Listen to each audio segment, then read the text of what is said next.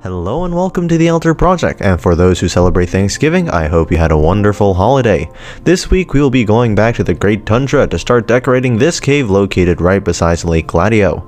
This cave will be inspired by no other than the caves in Lascaux, so I hope you look forward to some cave paintings. So without further ado, let's begin. So to start things off, I began with clearing away the water located at the cave entrance since I wanted to decorate the floor of the cave basin as well. I also made a miniature waterfall and a small path leading into the cave. I then started placing sea lantern blocks for temporary lighting and will be taking them out once I finish building the area.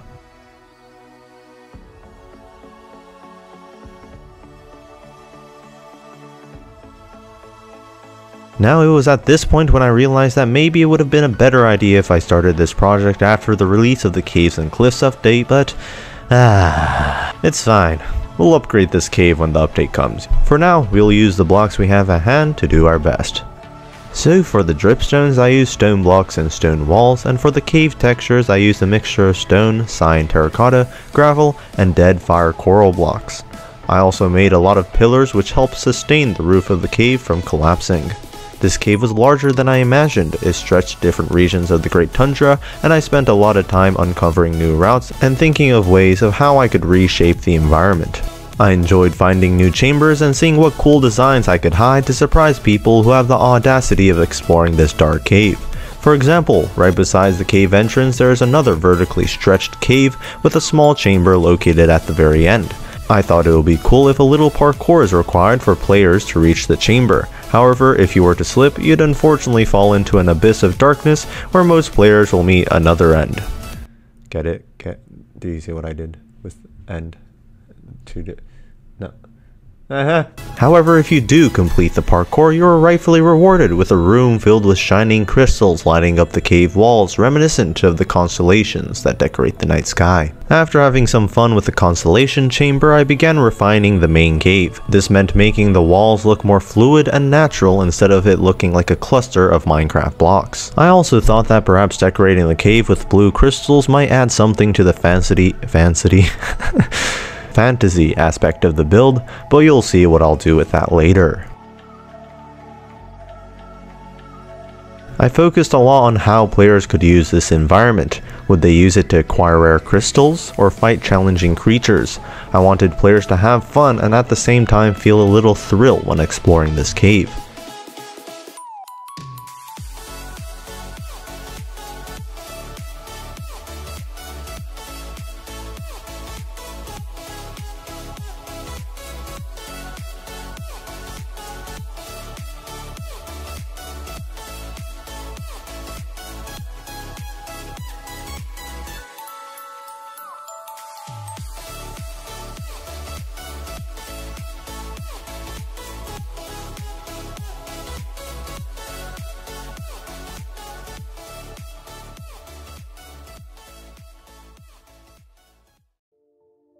And finally, we have the chamber located in the very back of the cave, which will contain all the prehistoric cave paintings. Now, there is a reason why I decided to locate them at the very back of the cave, and that is because many archaeologists believe that the deeper and harder it is to get to the cave paintings, the more value and importance it had to the prehistoric people, especially in terms of spirituality and shamanism.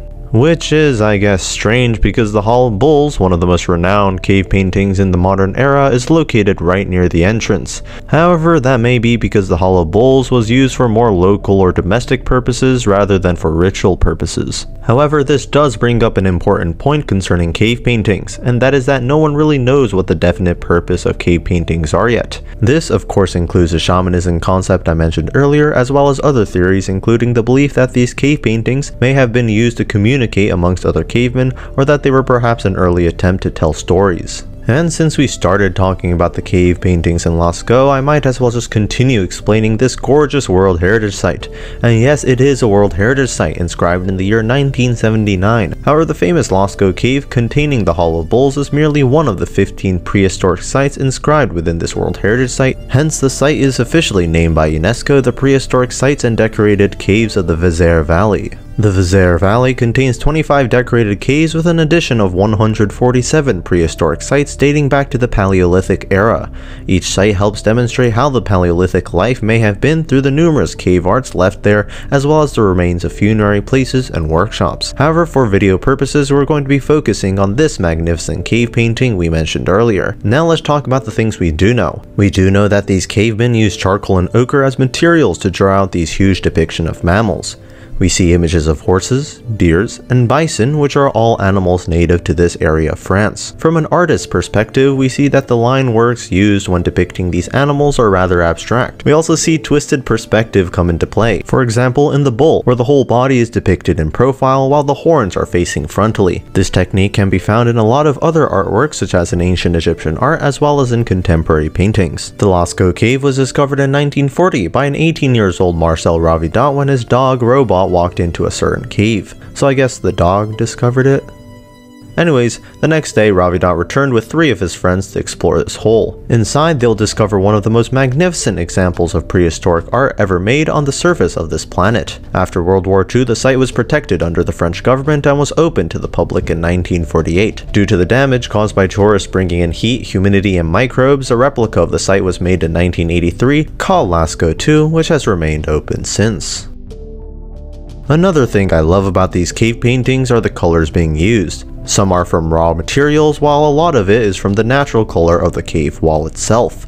This was something I wanted to implement into my cave painting as well, so I used a mixture of stripped oak and birch wood to create this rich beige color. Additionally, I use other types of stripped wood to depict the bowls as well. While I thought it might have been a cool idea to add silhouettes of giant spiders and wolves, I decided to ultimately keep the bull motif throughout the painting. Instead of making the narrative be about a bunch of mythical creatures destroying the land, I decided to focus this painting on Bohwa, the guardian deity of the Great Tundra. So after decorating the cave walls, I added a few glowstones to light up parts of the painting, just like how the cave paintings are lit in real life. I also made multiple shallow streams coming together at the end where it pours into the cave next door. Finally, I thought that decorating this stream with with colorful crystals would have been a cool addition to this cave, but decided to leave that out for a future video, perhaps for when the Caves and Cliffs update comes out. One last note before we finish today's video, while there are many inspiring stories born in the Caves of Lascaux, my favorite is of when the great Spanish artist Pablo Picasso visited this site in 1948 and remarked,